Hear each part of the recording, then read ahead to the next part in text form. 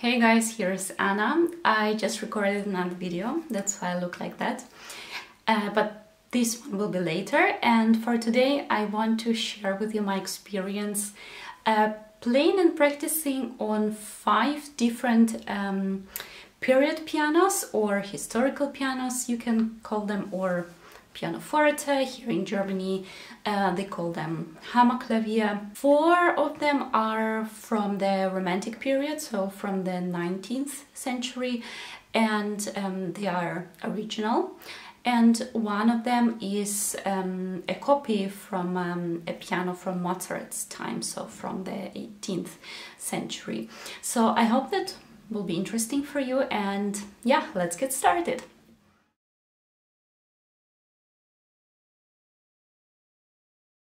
So I'm already there and we actually have here three forte pianos, three romantic forte pianos and one classical one. So we have here a Broadwood from London. I was told it's an instrument from about 1830s or maybe 40s.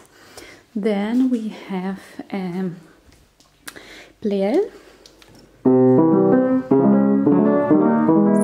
from Paris. Um, I was told it's from about 8040s as far as I remember or 50s maybe and this is the latest one as far as I remember.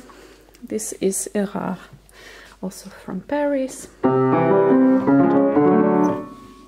Uh, it's a bit out of tune but never mind. Now I will try each of them and tell you what I think. So I will start now with Broadwood let's see how it feels and how it sounds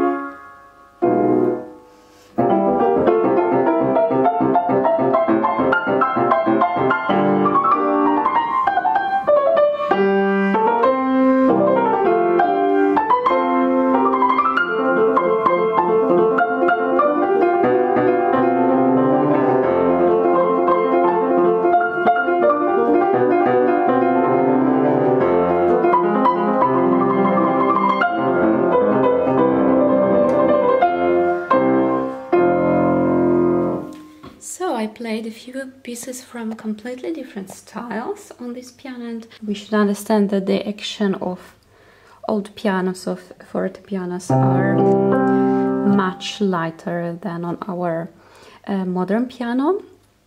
And the range of the dynamics is definitely much smaller. So um, I find it especially difficult to make forte on it so it's of course not that powerful than our um, modern grand pianos. And yeah it's quite interesting because I don't know if it's this particular piano or they are like that in general but um, sometimes it's very difficult like to control what are you doing. It's difficult to um, you know like to play a chord and really to um, get like all for example four notes after the chord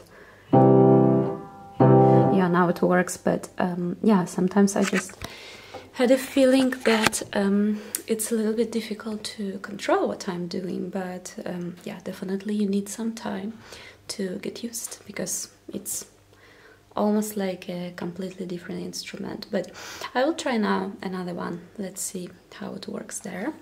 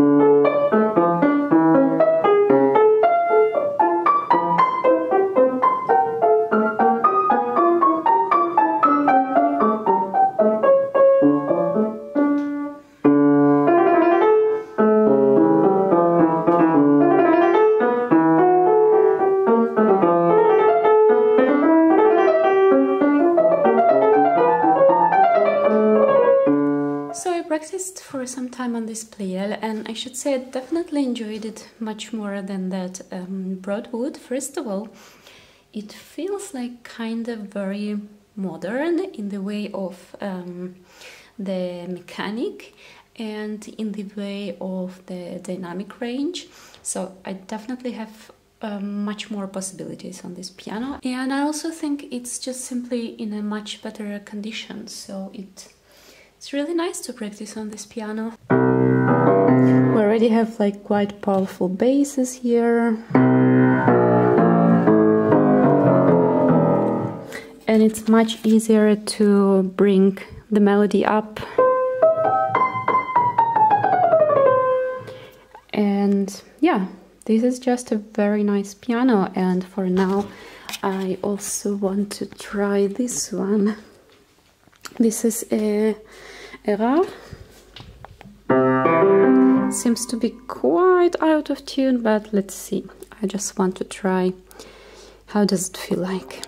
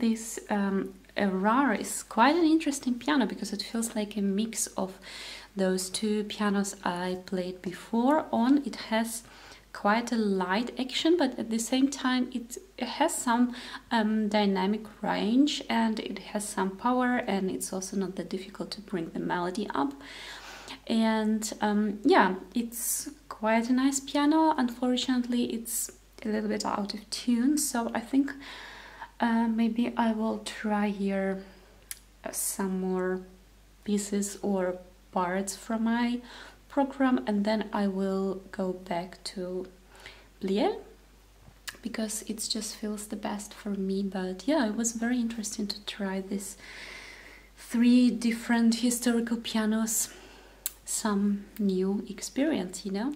So I decided to give a try also to this um, classical fortepiano. I think it's not an original one. It's a copy from um, from a piano from Mozart's time. So as you can see, it doesn't even have like classical pedals.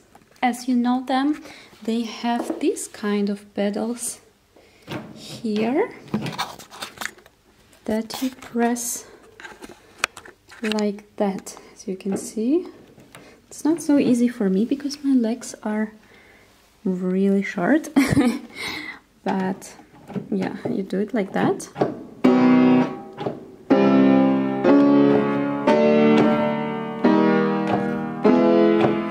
It's not so easy in the beginning but the piano doesn't sound bad actually I should say.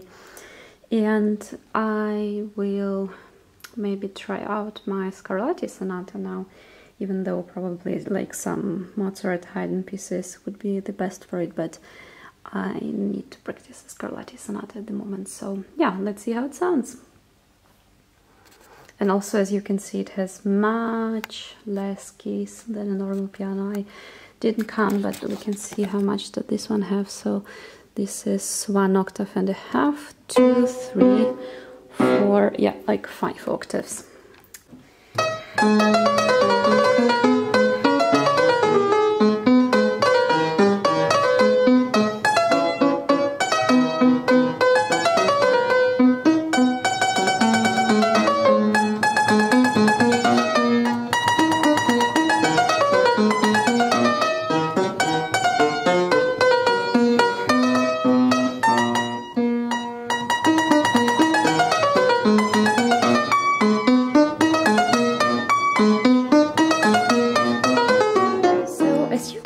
this classical fortepiano has white keys um, on the place where we have uh, black keys in on the modern piano or even on those romantic uh, pianos and black keys are our white keys.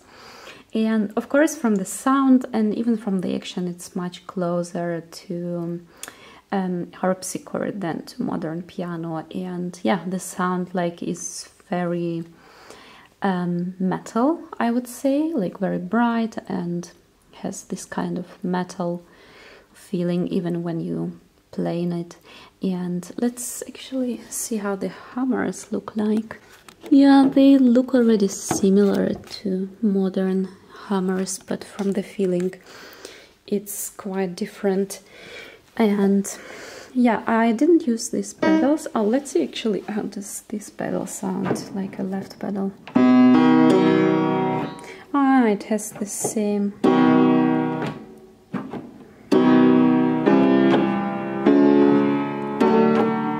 It's interesting. It has the same function as I understand as the right pedal which was sometimes the case as far as I remember. So yeah if it's more comfortable for you you can use your left um, leg or your right leg um, however you want. Also, I forget to tell you that on these classical pianos you use much less of your wrist movements and most of the time you just play with your fingers. Like on the harpsichord basically.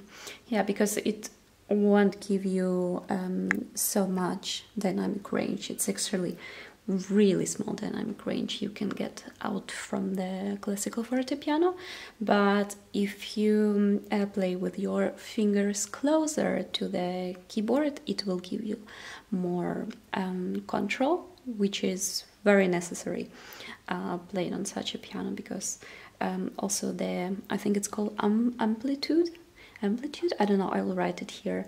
Um, it's much smaller here so you also need smaller movements uh, of your fingers that are more precise. We have here this very interesting piano that I've never seen before. It's from Aloyo Biber from München from the year 1835 and this is probably the most interesting thing I've ever tried in my life. It has a very nice, interesting sound, but it's very unusual. So I will try to play a little bit on it and maybe you can see how it works.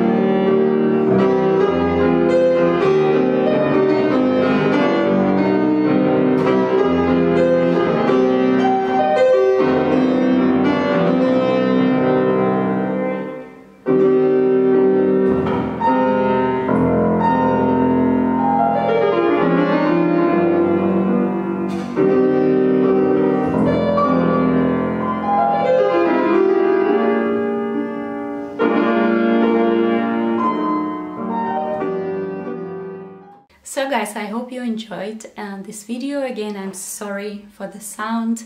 Um, yeah, I just completely forgot probably how to vlog, but I guess I just should uh, record more vlogs.